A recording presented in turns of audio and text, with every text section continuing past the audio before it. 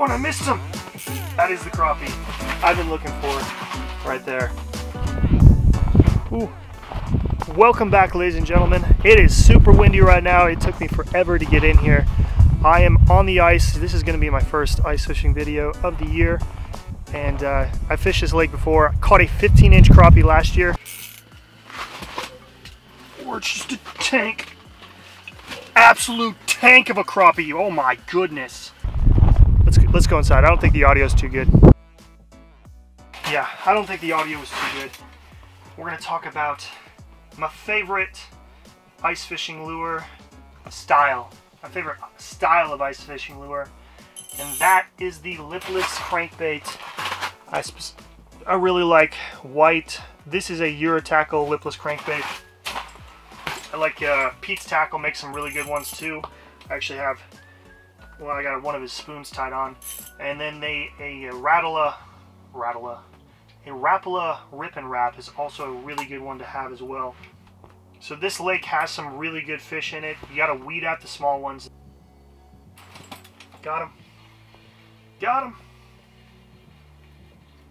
So I set it straight up. Everybody asks why we hold the ice reels like this. It's because you got to set those those rods straight up in the air instead of side to side like a spinning rod. He's 10.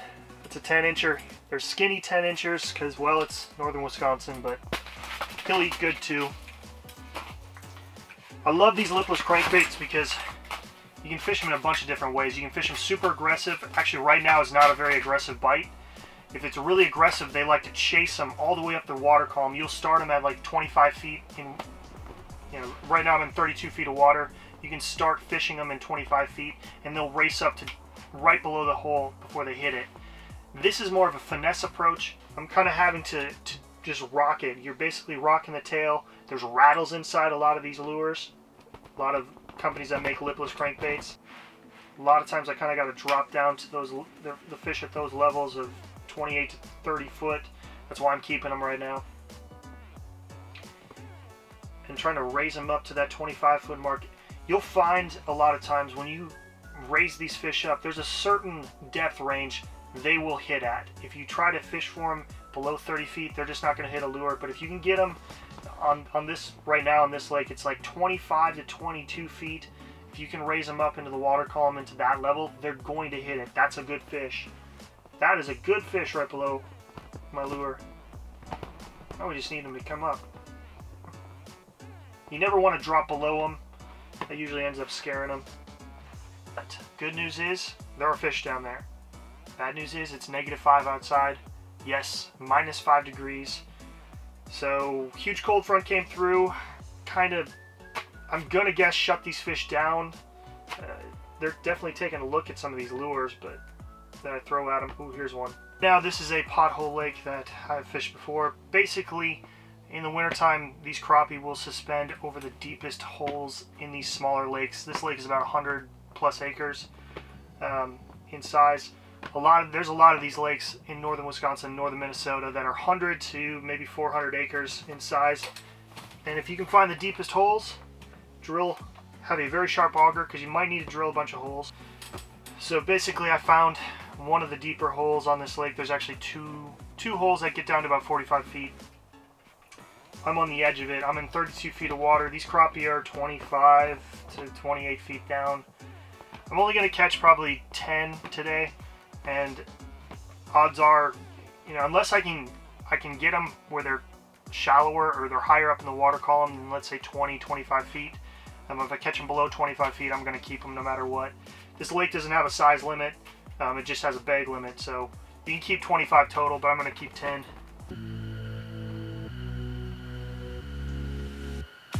Got him.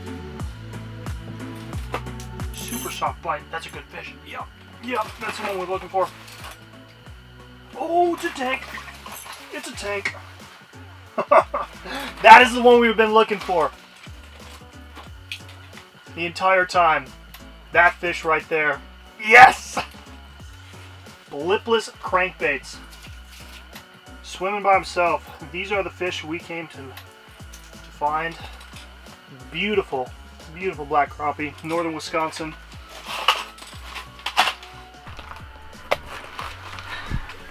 All right, there we go. Well, try to get the mouth closed here. Come on.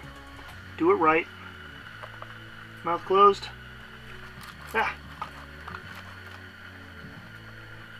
Mouth closed. Eh, 12. 12 on the dot. He barely hit it. Like, I just kept raising it up in the water column until I felt like there was some weight there. He didn't even feel like he bit it. He's swimming by himself. You can definitely tell the difference between that 12 inch crappie and these 9 and 10 inch fish.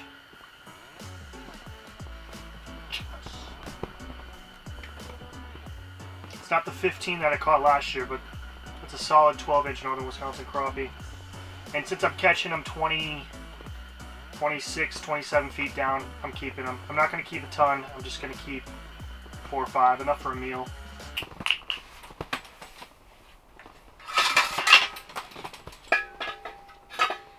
You see all the stuff that we have to buy as ice fishermen? Man, if I didn't have to buy all this stuff, I would have such a nice boat. Such a nice boat.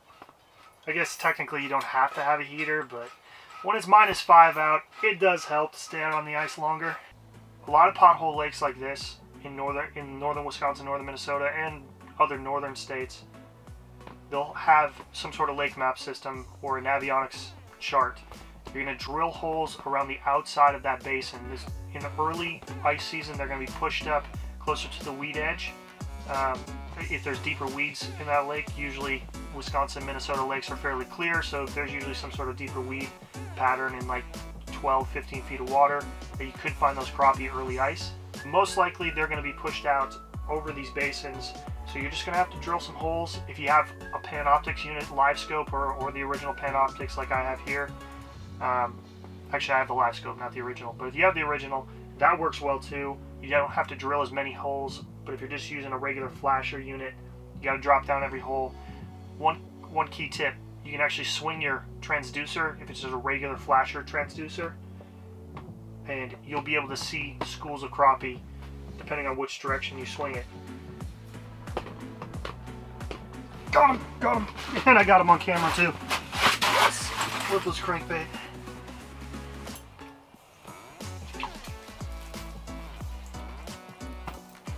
That white 1 16th ounce Euro tackle lipless crankbait. There's crappie number three today. These are not the size I want. There's some much bigger size fish in here. Like this white Euro tackle. It's a 1 16th ounce lipless. I think I used it when I fished uh, last open water video I did up north anyway. And then I switched to like the bluegill pattern because uh, Jeremy, subscriber, he's catching more fish than me. But they really like this white one right now. I don't know what the deal is, but they, they're liking it. Oh, here he is. Got him! Yep, I got him. He's a dink. Think. Yeah. He's not that big. Nope.